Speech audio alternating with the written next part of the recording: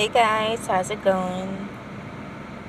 So today's video journal, I went to the park and got some food and walked around the boardwalk and stuff like that. And then watched some movies at my boyfriend's place. And then after that, went back home and watched some YouTube videos and some movies. And then today I went out with my mom because she had to get the oil changed on her car. Then we went to Walmart and got some stuff. Now we're at the wig store. You know, she went in there to look for whatever wig that she wanted. Because she wants some guy to order it for her. And she told me not to get any ideas because she doesn't get paid until like Wednesday. So, but I don't have any money to get any wig anyway, so really doesn't matter to me. But I am tired of wearing these short wigs because I'm wearing one right now.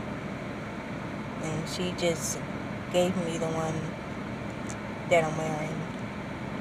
It looks okay, you know, because she had uh, put some hairspray in it and then also put some mousse in it or whatever to make it look good, you know. So that's what she did. And I decided to wear it today, so yeah. And this is what I'm wearing. This is my outfit.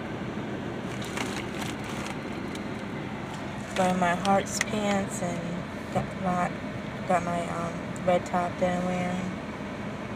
And my black choker. Yeah. So, but I, I look good. I always try to look my best whenever I go out. yeah, so. But I'm supposed to chill with my boyfriend tonight. We're gonna watch some wrestling. Yeah, so I'm pretty hungry. I didn't even eat anything yet. But um, I might just eat TV dinner and then eat some ice cream afterwards or maybe heat up this DiGiorno pizza that I got from Walmart and save like the rest of it. Yeah, so, but um, yeah, that's my video. I hope you all enjoyed it.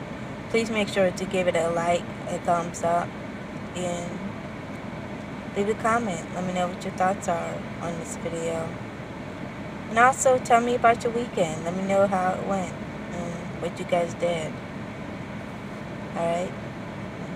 And don't forget to subscribe to my channel, turn on the notification bell button so that you won't miss any videos of mine. Alright? And I'll talk to you guys soon. Bye.